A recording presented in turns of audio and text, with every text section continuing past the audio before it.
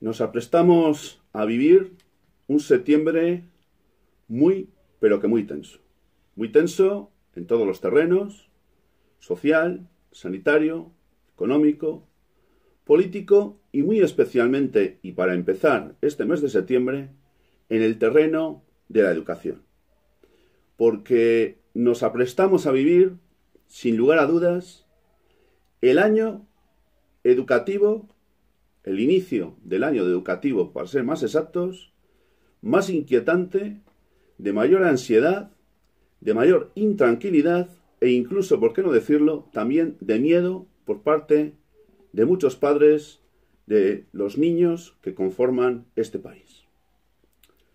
El panorama, por lo tanto, no pinta bien, es un panorama difícil, es un panorama bastante gris, por no decir que negro, y son muchísimos los interrogantes que se plantean cuando estamos tan solo a muy poquitas fechas ya, en algunos casos casi se puede hablar de horas, de abrir las aulas y de que nuestros hijos regresen a la escuela, de que nuestros hijos regresen a las aulas.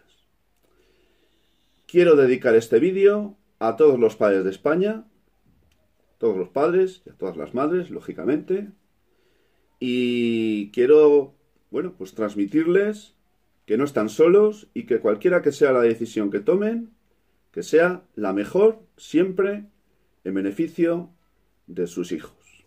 Bienvenidos todos, un día más, a la Ventana Esmeralda. Soy Antonio Muñoz. Bueno, las preguntas que cabe hacerse cuando hemos llegado ya prácticamente a las puertas de la apertura de las aulas son muchísimas. ¿Es segura la eh, vuelta al colegio? ¿Realmente podemos fiarnos de lo que se nos está diciendo? ¿Existen medidas de seguridad sanitaria suficientes como para que podamos irnos tranquilos a nuestros puestos de trabajo, dejando a nuestros hijos en las aulas? ¿Realmente qué es lo que está por encima? El derecho a la salud y a la vida de nuestros hijos o el derecho a su educación. Porque todos ellos forman parte de lo que conocemos como la patria potestad. Pues hay instituciones, no todas, que están dejando claro que aquí lo que debe de prevalecer es el derecho a la educación de los niños, olvidándose de que la salud y la vida son tan importantes o más que el primero y además, por lo tanto, deben ser protegidos de una manera prioritaria. Pero claro, el Estado haciendo uso de aquello, ¿verdad?, de que los hijos no son de los padres, deduciendo o infiriendo que de quien son los hijos es del Estado, pues aplican lo que acabo de contaros. Pero hay muchas más preguntas. ¿Tiene sentido que el Estado pueda amenazar y coaccionar a los padres con privarles de la patria potestad de sus hijos o incluso privarles de libertad, caso de que decidan no llevar a sus hijos al colegio como consecuencia del miedo, un miedo cierto y que obviamente hay razones y justificaciones que lo avalan? ¿Tienen derecho los padres a ejercer el llamado derecho a la insumisión? Bien, ¿y los profesores? ¿Qué es lo que tienen que decir los profesores? ¿Cabría plantarse el día de la apertura de las aulas? ¿Garantiza alguien que el día que las aulas se tengan que abrir, esto sea algo regular y algo normal y no tanto un caos que yo ya anticipo desde aquí que va a serlo y mucho mayor del que nos podemos esperar? ¿Cuántos días caso de abrirse las aulas van a permanecer abiertas? Pues hombre, yo la verdad es que no soy adivino, pero como el Estado parece ser que se ha empeñado, pese a que haya facultativos importantes que están diciendo que es una locura abrir las aulas, y pese a que hay expertos que avalan esta tesis, aunque haya otros también, porque así hay que decirlo, que son partidarios de que las aulas se abran, eso sí, con todas las medidas de seguridad sanitarias posibles, ¿qué es lo que podemos hacer ante una situación como esta? donde el Estado nos dice que tenemos que ir obligatoriamente, nos dice que si no vamos, nos amenazará y nos coaccionará, cuando precisamente ese Estado está haciendo el ridículo desde el primer minuto, a través de sus diferentes mantenedores del sistema, que son los diferentes funcionarios, especialmente el señor Simón y sus aláteres, los que le rodean, a ese inexistente comité de expertos, ¿verdad? Menos mal que hemos llegado a este punto sin que, o mejor dicho, sabiendo ya que el comité de expertos no existe, porque si no, seguirían diciéndonos que según el comité de expertos es imprescindible y seguro acudir a las aulas. Pero esa es otra historia. Estamos ante una auténtica cruzada educativa, sin precedentes. Nunca en la historia los padres se habían planteado lo que se están planteando ahora, y son muchos los que lo están haciendo. Claro, habrá que ver cuántos, ¿verdad? Pero es que a mí me produce risa tanta coacción y tanta amenaza por parte de un Estado que, aunque se le llene la boquita diciendo que tiene todo el poder para ejercer y para imponer y no sé qué más historias, no se creen ni ellos que lo vayan a hacer, porque si lo hicieran, se montaría aquí la de Dios es Cristo. Y no solo ya por eso, sino porque es que además carecen de medios, de tiempo y sobre todo de razón. Quiero con esto decir que los niños no tienen que acudir al colegio por capricho de sus padres. Evidentemente no.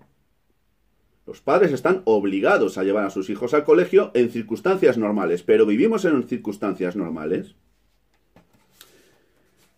Hay tres supuestos en los cuales, más allá de la situación excepcional que estamos viviendo estaban contemplados como causa justificativa de no llevar a los hijos al colegio. Enfermedad, residencia en el extranjero y la itinerancia. Pero no se decía nada, ni se dice nada en la ley, del supuesto excepcional que estamos viviendo de la pandemia que tenemos en la actualidad.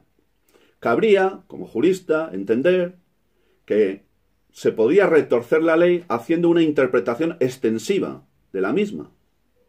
Pero eso habría que dilucidarlo en el peor de los casos en un procedimiento judicial, que espero y deseo que no se pueda abrir ninguno. Es verdad que si algún niño pues resulta que no va al colegio, en teoría el centro tendría que informar a los servicios sociales y estos al fiscal. Porque el fiscal, entre otras misiones funcionales, le corresponde velar por la seguridad de los menores. Pero claro, a día de hoy no existe una instrucción que yo sepa dictada por el fiscal general del Estado eh, uniformando criterios para que los fiscales pues actúen en caso de que decían actuar. Mirad, es todo un batiburrillo. Es tal caos el que hay. Falta de criterio, falta de uniformidad. Y eso sí, la señora Celá, esa señora tan eh, elegante que sale a contarnos, ¿verdad? Como que sentase cátedra cada vez que habla, nos dice que el Estado no quiere saber nada de esta historia, que las competencias han sido transferidas en su día a los 17 reinos de taifas que conforman el territorio nacional. Esto significa, una vez más, que el Estado hace dejación de funciones. O mejor dicho, que el gobierno actual hace dejación de funciones. Se lava las manos y que decidan los taifas. Cuando esta cuestión es una cuestión de tal relevancia que el que tiene que llevar el timón de la nave no puede ser otro que el gobierno de la nación. Pero ya estamos acostumbrados a ver al presidente del gobierno y a sus a su camarilla pues hacer de estas, no querer saber nada de nada, ceder la responsabilidad a otros y allá atrás entiendas. Y yo ya me veo o anticipo que aquí los que van a tener que solucionar sus problemas, pues van a tener que ser, pues, los directores de los centros, que son, creo, los que menos responsabilidad tienen de estas historias. Pero no, con decir o dictar algunas instrucciones, con eso de que lavarse los niños se tienen que lavar las manos cinco veces al día, con lo del termómetro de la temperatura, con que abrimos las ventanas, con que nos ponemos mascarillas y tenemos más de seis años, historias por el estilo y bueno, y una y otra y otra, con eso se escudan. Eso no es suficiente. Eso no es suficiente para garantizar nada. Pero fijaros, es que no termina todo ahí. ¿Qué pasa si un padre decide no llevar al colegio a su hijo alegando tener inseguridad o miedo ante la situación excepcional que estamos viviendo? Pues si fuera solo un padre, podía tener problemas. Se podía incoar contra él el conocido como expediente de desamparo o expediente de asentismo escolar. Pero yo mucho me temo que no se van a atrever a incoar ningún protocolo de esta naturaleza. Sencillamente porque estaría muy mal visto, sencillamente porque de acudir a un procedimiento judicial y terminar esto en estas instancias, mucho me temo que se les, iba, les iban a tener que pintar la cara una vez más y sobre todo y fundamentalmente porque no va a ser un padre ni una madre los que tomen esta decisión, sino que van a ser, me temo, muchos miles. Yo no tengo hijos. Por tanto, voy a hablar desde una postura, estoy hablando desde una postura muy objetiva y muy ascética. Pero veo las cosas desde fuera.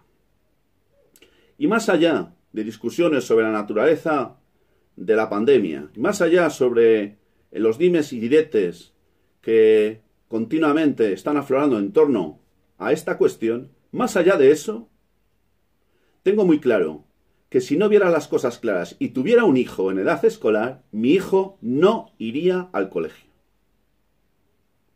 Y que me vengan a coaccionar, y que me vengan a amenazar, y que me manden las cartitas que quieran, que les iba a mandar sencillamente a tomar por culo. Así de claro les iba a mandar. Pero no creo que se les vaya a ocurrir. No se van a atrever, porque entre otros motivos no tienen justificación legal, por mucho que algunos se empeñen en afirmar que sí. En Andalucía se ha amenazado y de qué manera, ya lo dije en algún vídeo, por un señor que ahora es consejero y que del único que entiende es de baloncesto. Y ahora se arroga atribuciones para coaccionar y amenazar a los padres que no quieran llevar sus hijos al colegio. Y ojo, en Andalucía hay más de mil AMPAs que ya han afirmado que no lo harán.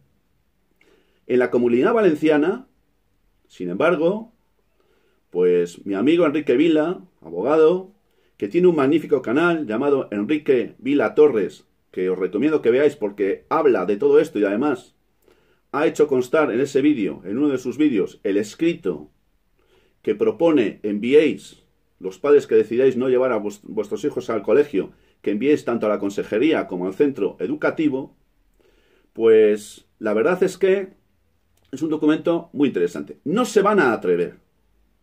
No lo pueden hacer. Mirad, el artículo 154 del Código Civil habla de la patria potestad. El artículo 15 de la Constitución protege la seguridad y la salud de nuestros hijos.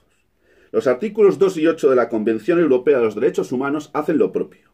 Y por si no fuera poco, tenemos a nuestro favor, también desde un punto de vista legal, la Convención Internacional de los Derechos del Niño de la ONU, en sus artículos 3, 5, 6, 18, 24 y 27. A lo mejor tienen que ver este vídeo alguno de estos sabiondos, entre comillas, y enterarse cuáles son los argumentos legales que avalan la posibilidad de que nosotros decidamos no llevar a nuestros hijos al colegio porque entendemos que no hay medidas o garantías de sanidad suficientes como para salvaguardar su salud. Bien, tiene que quedar claro, como dice Enrique, que se trata de una situación excepcional y temporal, la decisión del padre de no llevar a sus hijos al colegio. No se trata de otra cosa, no se trata de no querer que el hijo tenga la educación que merece. Se trata que por circunstancias excepcionales y temporales la tenga, pero la tenga por otras vías y por otros procedimientos, como podía ser, por ejemplo, la vía online, por ejemplo.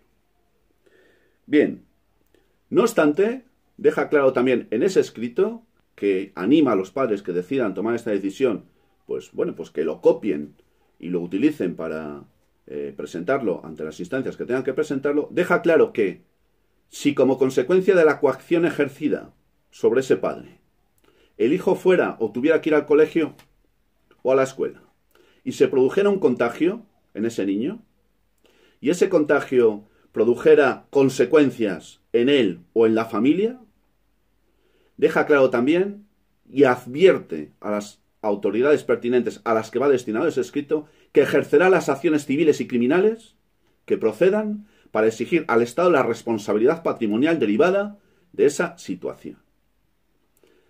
Bien, que se vayan enterando. Menos coacciones y menos amenazas, y más argumentos, y más diálogo, y sobre todo mejor hacer. Porque, señores del gobierno, señores taifas, señores encargados de toda esta historia, ¿saben ustedes realmente hacia dónde se dirigen? ¿Tienen ustedes idea de qué es lo que hay que hacer? O claro, algunos, no todos, no todos, ni mucho menos, algunos llegan ahora de las vacaciones y se empeñan en encontrar soluciones, sobre todo y fundamentalmente basadas en la coacción, que es de lo único que entienden. Ahora que se piensan que son alguien y que como mantenedores del sistema, pues se trata de esto y no lo otro. Estamos ante un tema muy serio. Estamos ante una circunstancia que va a afectar prácticamente a todas las familias de España. Porque quien no tiene niños o hijos en edad escolar, es evidente que hay muchas que no, pero hay muchísimos. Y esto es un problema general y muy serio y muy grave. Y a día de hoy no tenemos garantías de nada. Porque nuestros queridos políticos parece ser que no han tenido tiempo ni de estudiar, ni de pensar, ni de meditar qué es lo que hacer. Era más importante marcharse de vacaciones y de llenarnos la cabecita con la dichosa desescalada de las narices.